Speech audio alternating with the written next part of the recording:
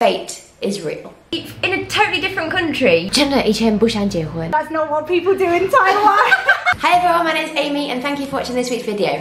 So I'm really excited to share today's video with you. Lucy is also from England, just like myself. We're both married to Taiwanese guys. After hearing how Lucy met her husband, I truly believe fate is real. If you haven't watched my video of how me and my husband, my Taiwanese husband met, check out the link above. 真的以前不想结婚。我二十一岁的时候，我朋友跟我说，你要不要跟我一起去大陆玩？我们去北京去一个礼拜，然后上海一个礼拜。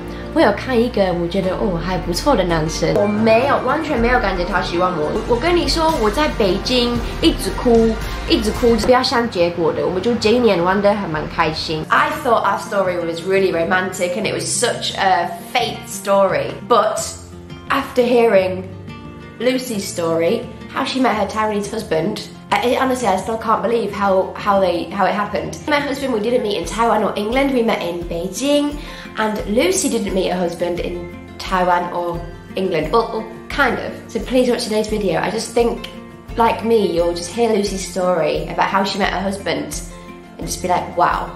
Lucy, so how long have you been here in Taiwan for? Uh, 12 years, around 12 years. 12 yeah. years, about the same as me as well, 11, 12 years. And you met your husband here in Taiwan, is that right?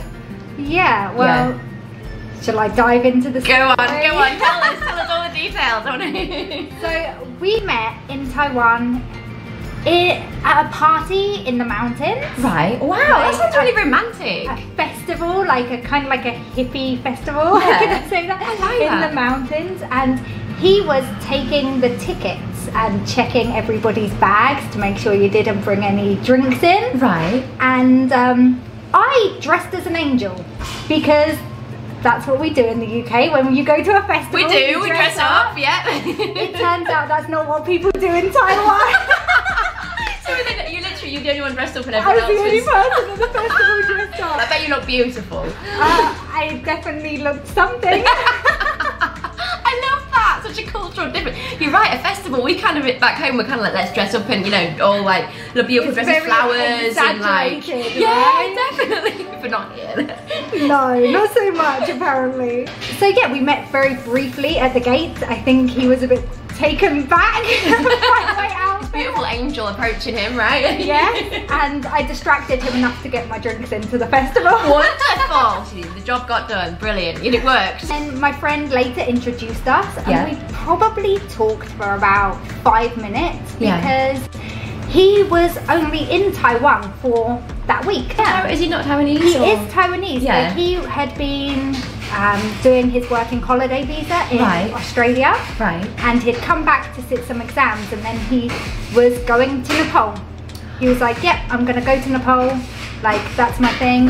And I was like, oh, okay then bye. That's that. yeah, I didn't feel like I really needed to waste my time on somebody Definitely. that wasn't just going to go across the world, you know. Right? Exactly, yeah. So I thought, oh, that's cool. Our friend added us together on Facebook, so yeah. I saw that he was gone and that was it didn't think much of it months later I got an unexpected break from my um, from my job and I was yeah. like oh well let's go backpacking and I went to Laos just went by myself and I met some friends and we started traveling together and I was walking down the street one day and I was like I recognize that guy no yeah. You're joking. So you, in a totally different country, you literally bumped into him in the street. Yeah. he was just sat on the pavement eating breakfast and I was walking by with my friends on our way. And you had no something. idea he was there? No idea, like... No, I kind of knew he was still traveling, like yeah. he was in Southeast Asia.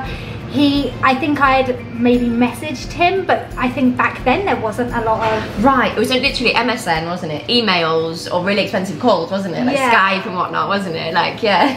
So yeah i was just like what ni hao and he was like who's this who's this white chick talking chinese to me?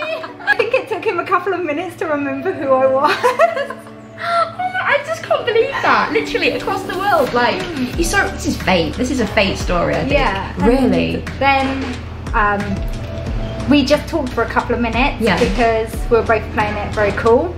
And of course, as you do, right? Yeah, like, what, what am I to do? Sit down and eat breakfast with him. Exactly. It's a little bit, a little bit forward, right? So I was like, okay, me and my friends are gonna do our thing. And then the next day, we were going down the river and I bumped into him down the river. Again. Like in a really obscure place. Like Yeah. a place that you wouldn't expect to see other people. I think something's definitely pushing you guys together. That's the third time in like a totally different place that you guys have met. yeah, and then we played it cool again. Yeah. And then that night I went out clubbing with my friends and him and his friends were at the same bar. Yeah.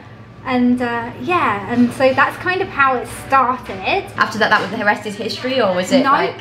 he, I was like, oh, I'm gonna keep traveling with my friends, and he was like, yeah, I'm gonna go to Thailand with my friends. Bye. You thought, okay, right, he's gone again. I was like, well, I guess that's that then. a few days or a week or two later, he messaged and said, um, like, he's gonna go back to Taiwan. yeah.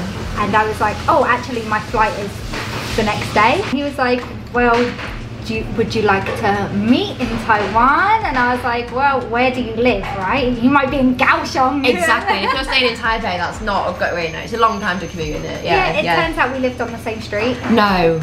So you literally have to be together. If you guys weren't together, then it was just crazy. Because that, how many signs have you had? Like that's like five, what five times you kind of met, like by chance, or if you live, or like coincidences, things like that.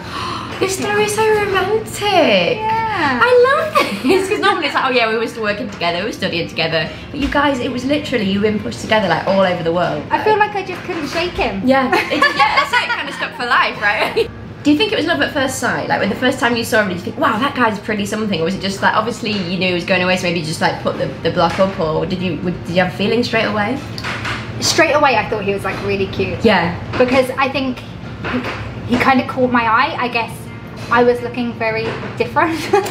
From that, so you married now. So Lucy's married with two beautiful little boys. So thank you so much for watching today's video. I really hope you enjoyed it and it was just such a cute story. The fact that they met, like, I think it was four or five times, just in a totally different place, like by chance. Um, I think it's amazing and obviously they were meant to be together. If you haven't already, subscribe to my YouTube channel, My Asian Adventure, Amy Ingornane. It's totally free and I'll be sharing videos every week with you. And also check out my Instagram and my Facebook. It's also Amy Ingornane, My Asian Adventure. Please do check out Lucy's YouTube, Facebook, Instagram. I'll put all the links to the side of me. I love her YouTube channel and I'm sure you guys will as well. If you haven't been already, please check out one of my restaurants. There's one in Danshui or Xinyi.